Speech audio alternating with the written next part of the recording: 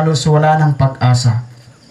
Ah, 3, kap, ah, Kapitulo 3, versikulo 16, sapagkat gayon na lamang ang pag-ibig ng Diyos sa sanlibutan na ibinigay niya ang kanyang bugtong na anak upang ang sinuman ay mapahamak, huwag mapahamak kundi magkaroon ng buhay na walang hanggan.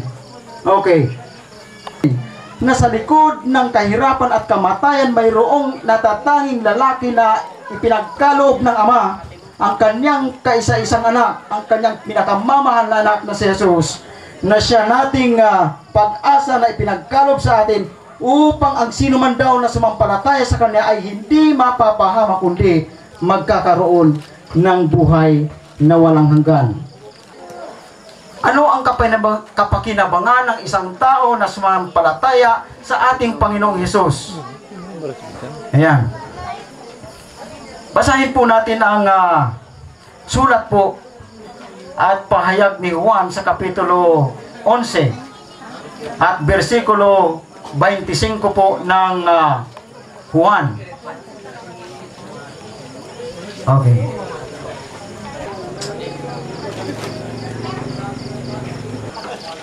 So ano naman ang kapakinabangan ng tao na kung siya ay sumampalataya sa ating Panginoong ah, Jesus? Versikulo 25 na ang sabi, Sinabi sa kanya ni Jesus, Ako ang pagkabuhay na maguli at ang buhay. Ang sumampalataya sa akin, bagaman siya ay mamatay, gayon may mabubuhay siya. Tutulog ay ginagamit niya ang kanyang mga tuhod upang gamitin ah, para sa pagkikipag-ugnay sa ating Panginoong Diyos.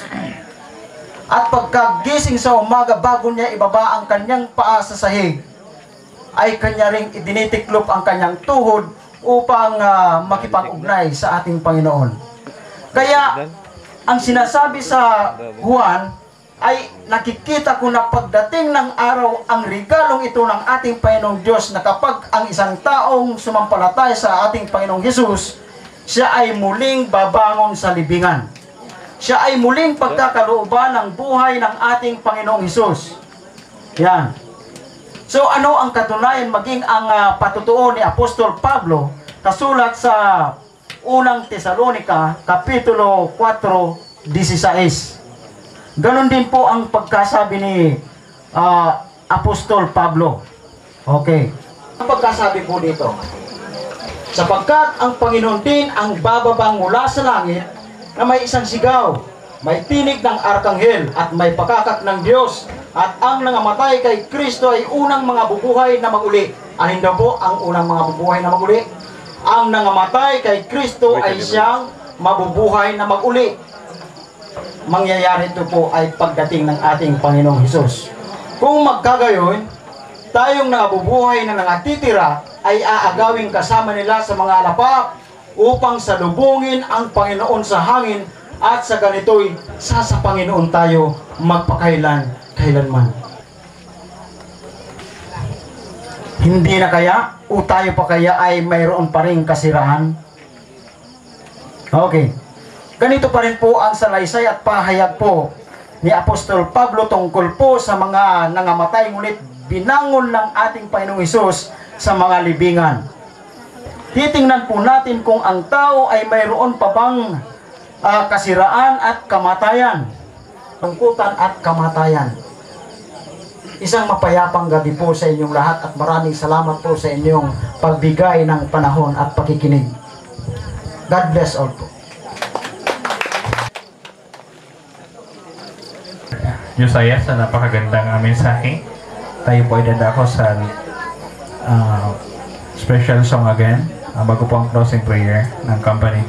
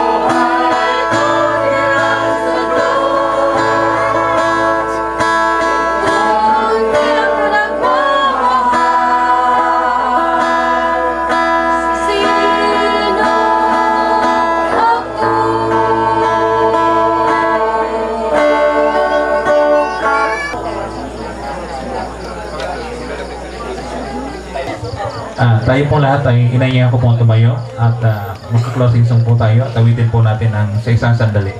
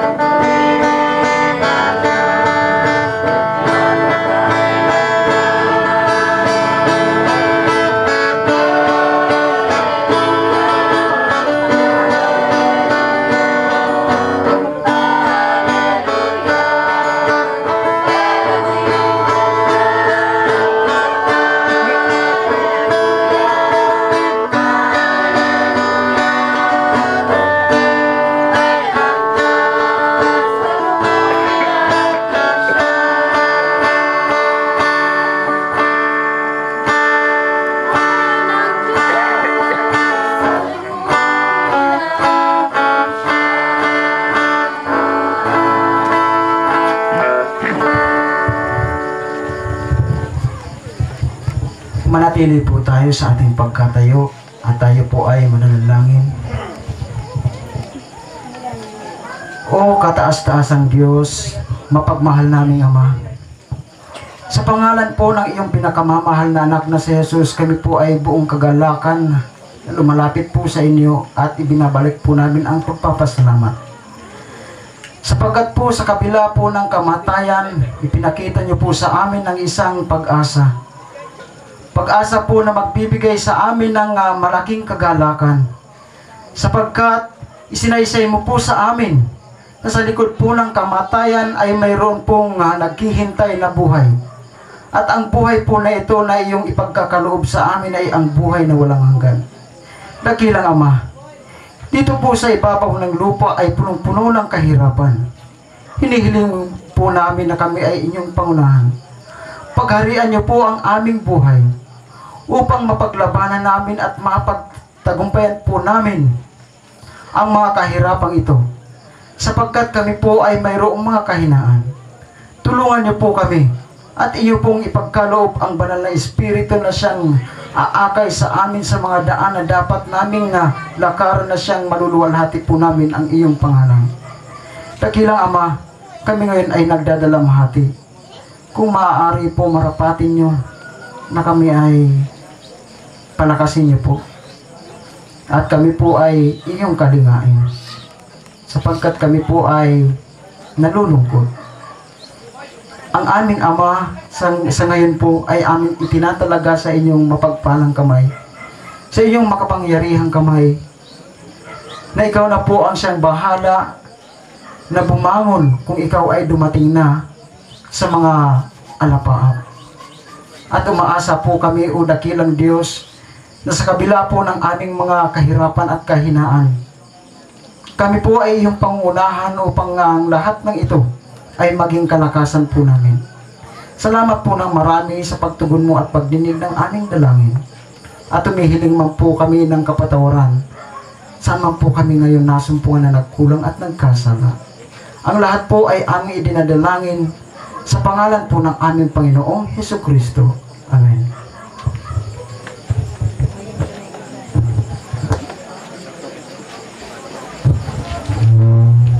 Ah, maraming salamat po Yun po ang pagtatapos ng ating first part ng program.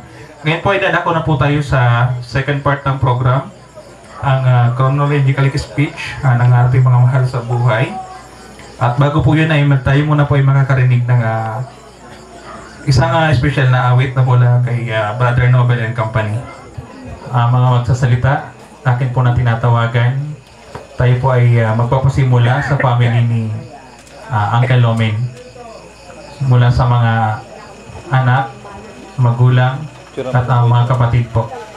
Or sa mga gusto po magsalita, ah, welcome po kayo. Na kung kayo man po ay ah, merong ah, mga magandang ah, memories na nakasama po ang ah, ating mga ang ating mahal sa buhay.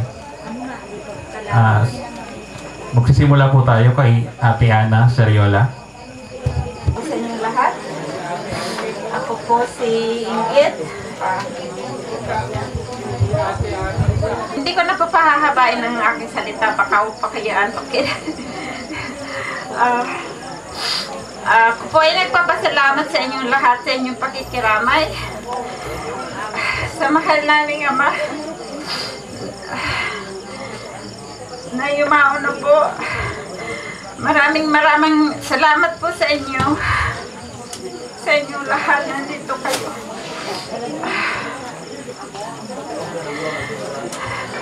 Masakit naman po sa kalooban, pero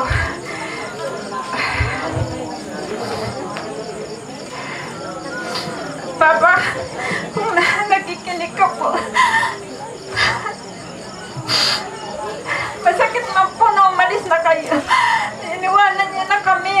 Pero masaya na rin po kami dahil hindi na kayo naghihirap. Kahit po mahirap tayo, hindi ko po kayo, hindi ko po pagpapalit ang, ang buhay natin. Dahil po, napakabait niyo pong ama. Yun lang po, marami pong salamat. Maraming salamat po Ate Inge. Boy, ano yun? Ah, Boy, ano boy? Sige po kaninyo amin. Salamat po ka pakikiramay ninyo ka na mo.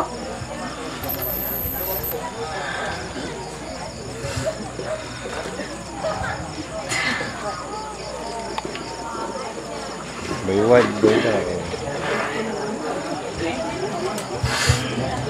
Nagpapasalamat mo po ako, Papa. Kung sari man po ikanguan. Nagpapasalamat po ako kapag sakripisyo ninyo ka na mo. Dawa po isinan kung nasasakitan po ka mo. Naging maray po kami pagiging ka na mo. Papa, I love you. Boy.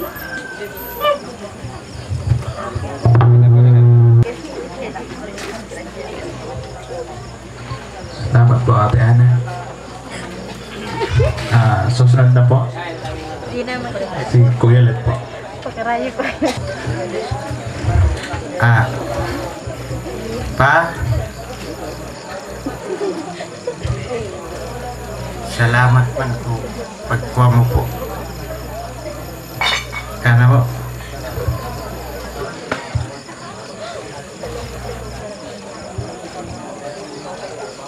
Dawa po maging minsan kulit ako.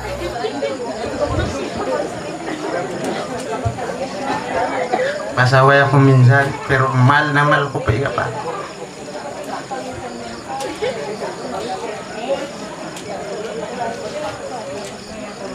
Sana po.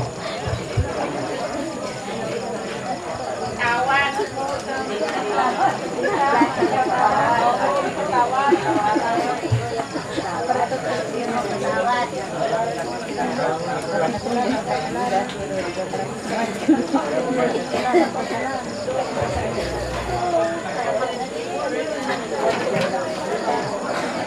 saka salamat po ka mga isa din mo na nakilamay po. Salamat po ano yun. Sana po. Mo ko ulit. Ah, meron pa po ba sa mga anak ni Uncle Lomin po? Yung mga gustong ah, magsalita po, pwede na po kayo pumunta dito sa harapan at ah, para po ah, matapos na po tayo. Si Kuya Alan, Kuya Ariel, Kuya Badong, ah, ah, ito po ba na si Ninong Ray. Magandang gabi sa lahat ng taong nandito at maraming salamat sa lahat ng nakikiramay sa pagkawala ng aming ama. Ganun pa man ang nangyari, papasalamat din kami na umabot sa ganyang edad ang aming magulang. Sobrang bait ang ama namin yan. Halos wala kami masabi. Pero siguro panahon na rin para kunin na siya ng ating Panginoon. Kaya ang magagawa namin ay tanggapin na lang kasi lahat naman tayo darating sa ganyan. Kaya masabi ko lang hindi na naman siguro na maririnig ni Papa pero bago siya namatay, nung gabi yun, ay nagkausap kami. Masaya yung usapan namin. Salamat at hindi rin siya nagpahirap sa mga nag-aalaga sa kanya. Salamat din sa suporta ng aming mga tita nandyan, ng aking mga kapatid, mga pinsan. Salamat sa inyong lahat. Yan lang po.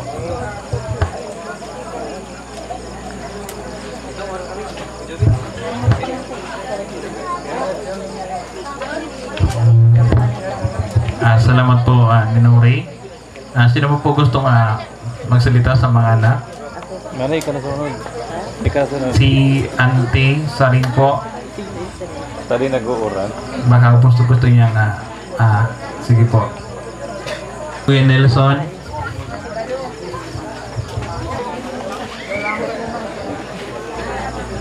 Maray na gabi po kaninyo, mga pamilya, mga barkada ni Papa. Ako po ay nangako na di migtangis sa pagkagra ni Padires. Tangata po, anak ko ako po kay Padires, gustong mabayad niya kanyang sa kanyang mga igin ay ana gustong kuha po niya ay maging matatag. Pag ako po ag- nag-uuli sa atin ako problema, si Padires po ay ni minsan di po ako kan pigsaritaan ni inungtan niya. Ah, ginigibo po kan pag-abot ko sa ade. Yayakapon ako, gagakusan ako kan. Tapos, is isiniya king unuan na problema ko. Ah, sad po kito na gigibuon ka na ka, ah, bayan sa narukan. At to, ah, lapo kadakulo na la la kadakulong tabang ka usada kag igin sa sada igin ana mama, mamatian po na sa to tiwala niya sa to susuporta niya sa kanyang igin. Kaya po sa sa kanyang mga barkada, kanyang mga pamilya, si Paderes po ay buko pong politikang politikong tao. Pero ana pagkabisto po ka mga barkada po ni Paderes, sadi ka natang barangay, Buko man po iyang politiko, buko po iyang mahilig sa gulo. Ana katuninungan po sa pag-abayan, usad po iya sa naging matuninong na kabarangay, usad na matuninong na mamamayan po ka na kanatong banwa, usad na matuninong na ah, pag-abayan, usad na matuninong na tao po sa di kanatang barangay, usad pong maray nakakigin ka na mo. Usad na maray na barkada po kaninyo. Amo po ang pinagpapasalamat ko kay Padires. pati kaninyo na nakiramay, nakidalamhati po ka mo. Para kadakal na salamat po. Ngayon yung amin.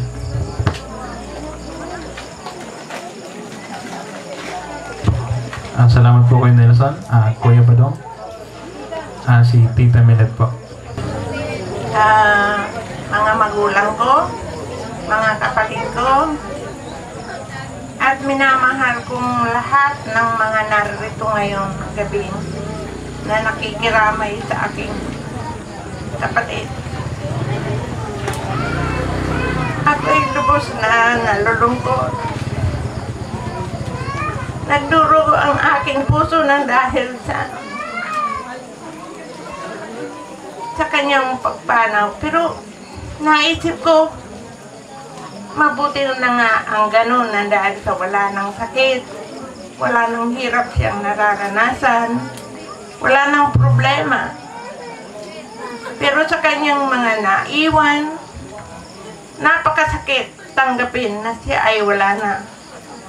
Lalo nang lalo na sa aming magkakapatid na dahil sa siya ang pinakamatanda sa lahat. Siya ang inaasahan namin sa anumang bagay na magpapayo sa aming mga pagkakamali. Pero sa ngayon, nawala na siya, ako ang tumatay ang pinakamatanda na sa lahat na magkakapatid. Ang karanasan kong ito ay masasabi ko simula nung kami maliliit Siya ang nagbigay buhay sa amin na dahil sa mahirap lamang kami. Kumbaga sa isang manok, isang kahig, isang tuka. Ang tatay ko, walang kakayahan para buhayin kaming lahat, kundi lagi siyang katulong sa paghahanap buhay. Kaya nung siya ay nagbibinata, hindi na siya nakatapos ng pag-aaral. Pinaubayan niya sa amin lahat. Kami ang nagpatuloy ng mag-aral. Siya ay huminto na para katulong ng tatay namin sa paghahanap buhay. Napakabait niyang kapatid. Wala kang masasabi sa kanya. Walang lahat. Kahit na anong sabihin mo, pinapakinggan niya. Pero sa ngayon, wala na siya. At lahat ng mga alaalang, magagandang alaala, ay parang kasama niyang mababaon sa limot. Pero siguro hindi ko malilimutan ang karanasan na yun. Nang simula kaming mga bata pa ay ganun ang kanyang pinaranas sa amin. So, nagpapasalamat ako sa inyo, sa inyong pakikiramay sa amin. Hindi ko ma malilimutan itong gabing ito. At sana ay biyayaan kayo ng kung may kapal sa inyong pagdamay sa amin. Marami pong salamat. Ah, si Tita Jen po. Magandang gabi po sa inyong lahat. Sa lahat pong nakikiramay sa amin. Maraming maraming pong salamat sa inyo. Bagamat ako'y nahihiyaman na humarap ng ganito, sinasabi ko po na ako ang pangalawang bunso sa magkakapatid. Ito ang aming bunso. Iyan po ay naka, napakabait na kapatid para sa amin. Kagaya po ng sinabi ng aking kapatid na panganay na babae, iyan pong kapatid ko na yan ay siyang gumabay sa tatay namin na para maghanap buhay. Dahil sa po ay mahirap lamang po kami siya po ang lahat tumayo sa aming magkakapatid gumabay sa amin tatay na para mapunuan ang aming pangangailangan. At kuya, maraming maraming salamat. Hindi namin po mapapantayan ang iyong kabutihan sa amin po. Salamat sa iyo pong pagtulong sa amin. Maraming maraming salamat. Tsaka sa sa iyong pamilya, huwag kang mag-aalala. Kung kami man po ay mayroong maitutulong, kami po ay tutulong sa kanila. Salamat. Huwag ka nang mag-alala. Maraming maraming salamat sa inyo. Sa mga nakikiramay po, salamang maraming maraming salamat sa inyo.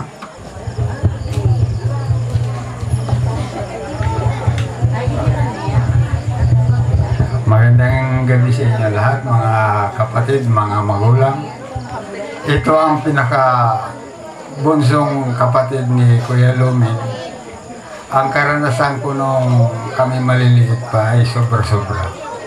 Sobra-sobra ako nagpapasalamat sa kanya sapagkat ako'y nakarating sa ganitong edad na siya'y patuloy na gumagabay sa akin at